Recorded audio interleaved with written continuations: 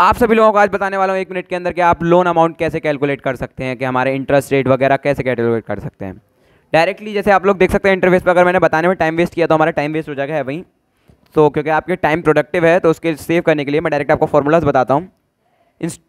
Interest rate निकालने के लिए सॉरी इंटरेस्ट निकालने के लिए इंटरेस्ट हम लोग कितना पे कर रहे हैं? Multiply interest rate multiply duration as you can see मैंने लोन अमाउंट का इंटरेस्ट रेट और ड्यूरेशन से मल्टीप्लाई किया, जैसे आप एंटर करेंगे, जैसे आपकी इंटरेस्ट आ जाएगा, आपको इंटरेस्ट कितना पे करना है। आप टोटल अमाउंट के लिए हम normally loan amount plus interest rate total amount आ जाएगा इसके अंदर कि आपको कितना पे करना है आफ्टर जितना भी आपने लोन लिया है इतने ईयर के लिए। अब हम निकालेंगे इंस्टॉलमेंट पर मंथ आपको कितना देना है? Equals to total amount divided by duration divided by twelve as you can see directly आ चुका है वन 10,833